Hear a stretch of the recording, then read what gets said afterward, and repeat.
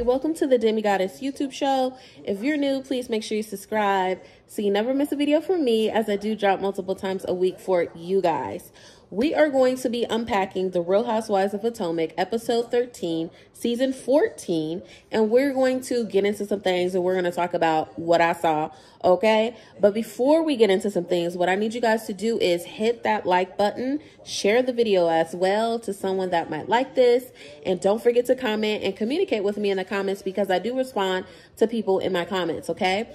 So, the episode starts with Ashley comes over to Mia house and they talk about um, the divorce, meaning Ashley divorced with Michael, um, and how she feels.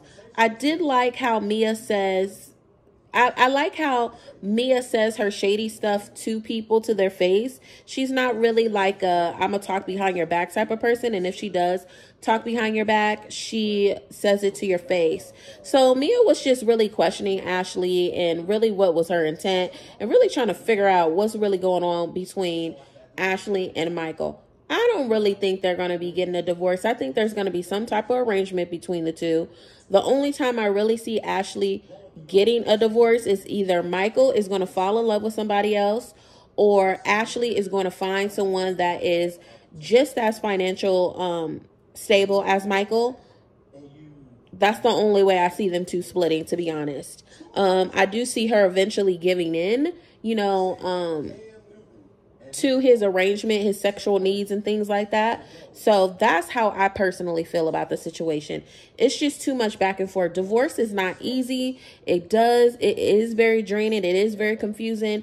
And then on top of that, they have kids together. So that's a whole different dynamic. It makes it a little bit more harder, you know, um, and just to like process the divorce in real time. I definitely understand what Ashley is saying, but Michael has put her through hell and back. I just don't understand, you know and has embarrassed her on numerous occasions. So if she wants to deal with that, then hey, all we could do is sit back and watch it and, and see how everything unfolds and wish her the best.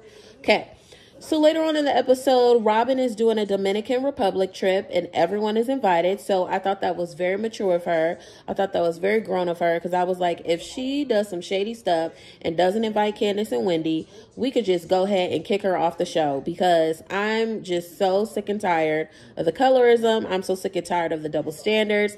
I'm so sick and tired of you not disclosing what's really going on in your life, but you're on a reality show. You know, you could just go, you know? That's how I'm really feeling about the situation. So now Nneka and Wendy, they go out for lunch. So this is later on in the episode. Nneka wanted to squash the beef. Wendy explained how she was offended by Nneka. Wendy wasn't having, you know, the excuses that Nneka was um, giving her at the lunch or whatever you want to call it. Nneka was she was sort of being an issue. Wendy didn't like the witch comment, so she admitted that. She also said she didn't she didn't want peace and walked off. Nneka said she wanted to apologize, but Wendy wasn't trying to receive the apology she was willing to give, and she started crying. Here's my thing. I said this before when it came to Nneka. You know, the more I start watching, you know, the Real Housewives of Potomac, I am starting to have a soft spot for Nneka, but I'm still looking at Nneka side eye because you didn't have to come on the show um, having beef with your former Nigerian sister. You didn't have to you didn't have to come on to the Real Housewives of Potomac doing that and stirring that pot and having that drama.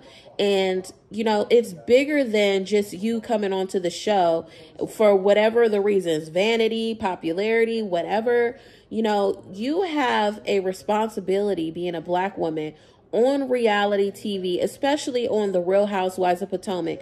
The Real Housewives franchise is not a ghetto franchise, okay? There might be some ghetto moments, there might be some chaotic moments, but overall, everyone knows like the Real Housewives of Potomac, the found not Potomac, just the franchises in general it's built off of class. It's built off, off of ele- uh, elegancy. It's built off of, you know, high standards. It's built off of class. You know, um, for you to come onto the show and then for you to be a poor representation of Nigerian uh, boys and, and girls, um, it's it's not that it's very distasteful. You didn't have to do that. But one thing that I will give you the benefit of the doubt, Nneka, is the more I watch the show, the more I'm like, okay, you have a soft spot. I just kind of feel like maybe the producers or production, I don't know who told you to roll on to Real Housewives of Potomac like that, but you need to disassociate yourself with people like that. And you really need to be careful being friends with Gizelle and Robyn because they'll flip on you like a hot cake. So, um, and they'll deflect the hell out of what's going on with you to avoid them disclosing what's going on in their life.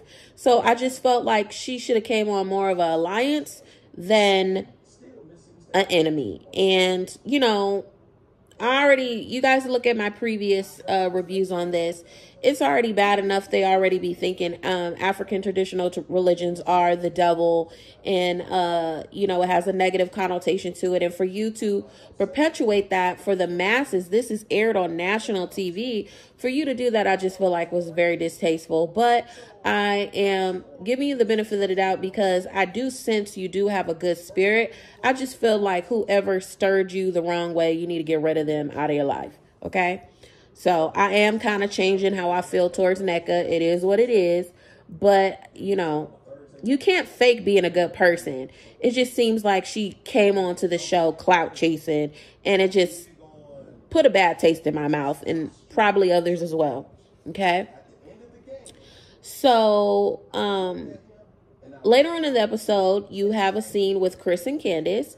They talk about how she's, uh, Chris talks about how she's always gone um, since her career's been taken off. You know, um, she's been really working hard on her music, really working hard on her acting, getting a lot of roles. Um, she's getting a lot of press.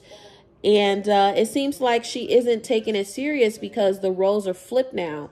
I don't know if you guys remember, but in previous seasons when Chris was really working very hard, rather it was his restaurant, rather it was the hotel, Candiace was complaining about Chris about working so much and not making time for her. And she was crying and starting issues with him. And it just seems like now that the roles are reversed, it's kind of like, eh, okay, whatever. You know, she does have a little bit of self centeredness about her that I don't really like. Um, she was someone that I didn't really like uh, for the longest, but she has definitely grown on me. I would say like the last two to three seasons. It seemed, especially since her relationship with her mother seems to be improving too. Even her mother started growing on me as well. But I always like Candiace mom. um, but yeah, I just feel like she should pay attention more to her husband and vice versa, and they really need to stop doing that tit for tat stuff.